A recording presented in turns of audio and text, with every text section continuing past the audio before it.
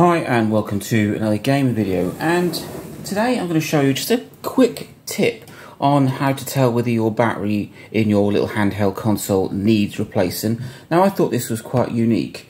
Um, so well, first of all we'll take the Game Boy Advance SP that I bought recently and I haven't checked this battery. So you take your battery cover off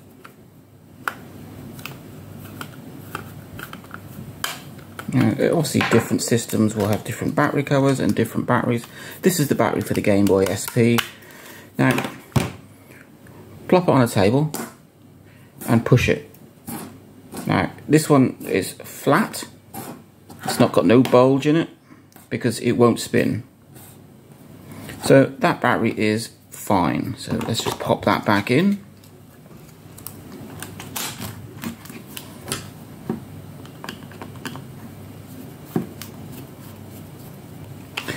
And we set that aside. That one is absolutely fine.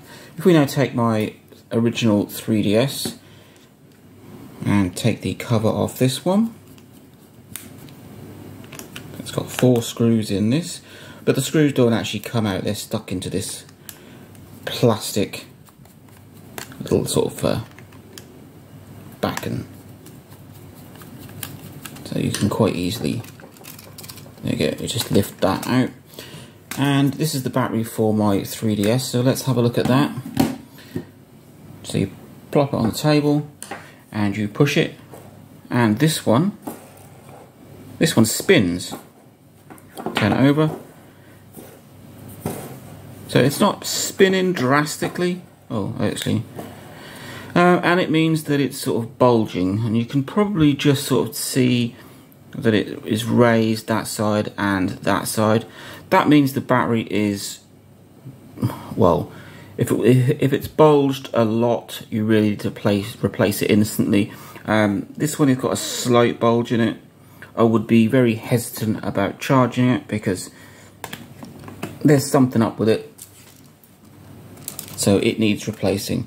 And that is my 3DS so let's just uh, put that back back on.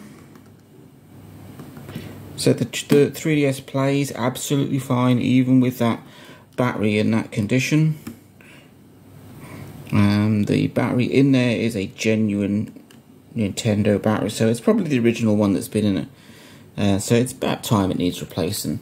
So that's those two. Now let's have a quick look at my DSi LL. Uh, this one I haven't checked for quite some time. So you just take the battery door off of that and you'll find that battery doors on Nintendo consoles have a Phillips head whereas all of the other battery or all the other uh, uh, screws will be like tri-wing. So you, are supposed to take these off.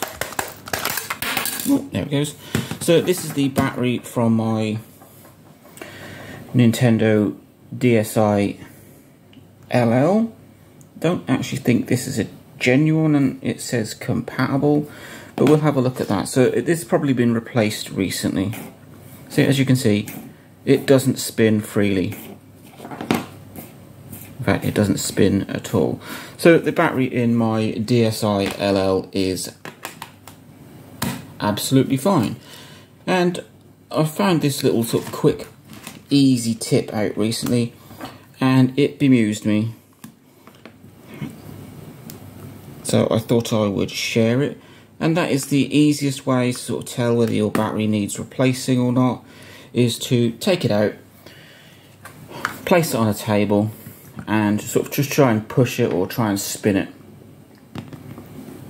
So there you go. Battery in this is absolutely fine. Battery in this is absolutely fine.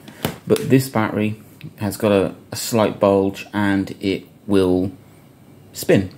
And that's how you know or how you can tell whether the battery in your console needs replacing.